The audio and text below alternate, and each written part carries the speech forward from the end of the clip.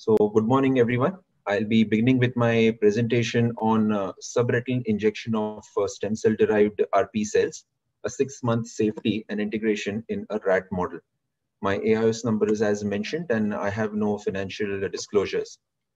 As we are aware, retinitis pigmentosa is a genetic uh, degenerative retinal disorder with uh, no definitive uh, therapeutic cure as of present the uh, propounded possible therapies going ahead bifurcate into either uh, gene therapy, which is uh, specific for the RPE65 uh, mutation related disease, and uh, more specifically, the stem cell based uh, cellular replacement, which could uh, either be embryonic induced pluripotent stem cells or via the mesenchymal cells.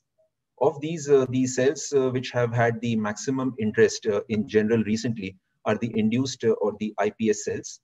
Herein, somatic cells which are mature are taken from a donor and are uh, exposed uh, to the Yamanaka factors and uh, reprogrammed to form a stem cell. And then uh, these cells, uh, when exposed to other specific growth factors, can be converted back to an end stage differentiation of these cells of our choice. So in our uh, previous work, what we had done was uh, we took nude mice, which are mice models uh, which are immunocompromised, and therein the cells uh, which were created in our lab and converted into the RP cells were injected in the subcutaneous space in these animal models. After having uh, injected them into the subcutaneous space, uh, they were su subjected to histopathologic examination and immunohistochemical staining 16 weeks uh, down the line. And what we found were that these RP cells derived from pure cultures of uh, IPS in our labs neither proliferated abnormally nor induced any teratomas in the nude mice. That means these human RP lab created cells were safe uh, in the body of an immunocompromised animal. So with this background, we went ahead to assess the safety and integration of uh, subretinal injection of these cells in an ex vivo animal model at six months. This was uh, an ex vivo prospective preclinical animal study. We included 16 eyes, and the uh, animal model that was used was a blind Royal College of uh, Surgeon rat or the blind RCS rats. The study was uh, conducted at the LV Prasad Eye Institute and the National Center for Laboratory Animal Sciences, National Institute of Nutrition, Hyderabad, India, and was approved by the Institute Review Committee of both the institutes.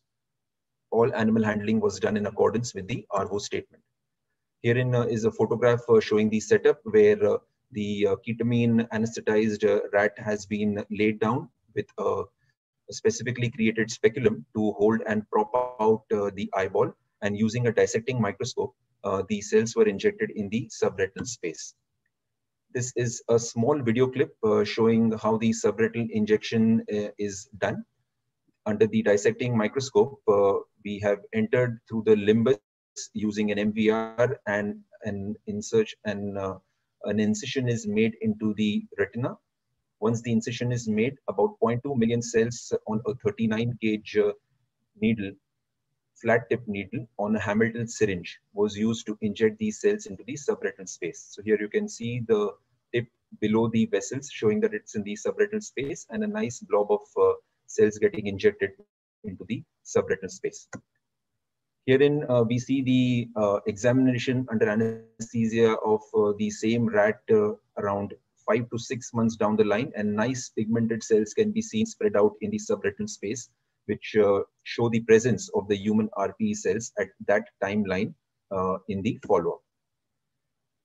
This is an immunohistochemical section of one of the sacrificed rats, wherein you can nicely see the track via which these cells are injected from the vitreous cavity across the retina into the subretinal space, and they are settling down on the uh, RPE choroid layer. Immunohistochemical examination further showed us that uh, these cells not only settle, but then they home in on the uh, uh home in on the Bruch's membrane, and uh, wherever they are homing in, the corresponding area in the neuroretina shows preservation of the photoreceptors. So this shows that there is some amount of rescue effect that occurs due to the transplantation of these cells. More importantly, immunohistochemical staining showed that these RP cells uh, were shining blue on the DAPI stain showing uh, or uh, telling us that uh, these are viable retinal pigment epithelial cells.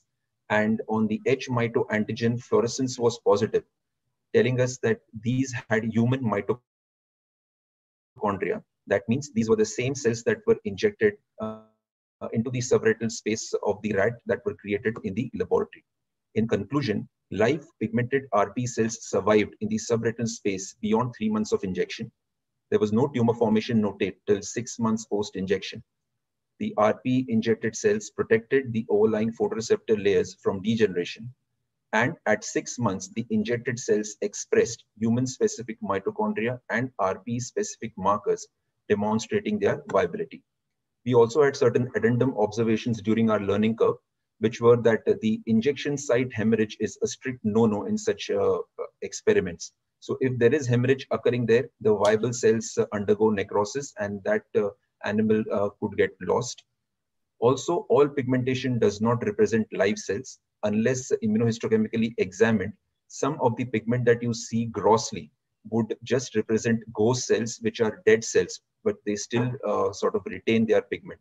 So an immunohistochemical examination and cross-checking is uh, pretty important. Also immunosuppression of the animal because what we are injecting into the animal is a xenotissue.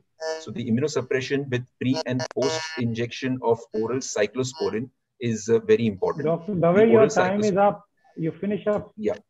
Yeah, in conclusion, this demonstrated that the efficiency of our cell protocol and purity and safety of RP cells for future in vivo applications in cell therapy for retinal degenerations. And unfortunately, due to the COVID-19 effect, we could not uh, step up the experiment and check for functional assessment, which would be done later along the year as the things open up. So these are my acknowledgements of my co-workers and uh, thank you for the kind attention. From which part of the body did you take cells, human cells? We took uh, cells from the skin. Okay. And how in how many cases you have done this? In how many rats? We have done in we have done this in 16 eyes. Okay. 16 yeah, rat eyes. Thank you very much. Thank you very much. Thank you so much. Yeah, good Thank study.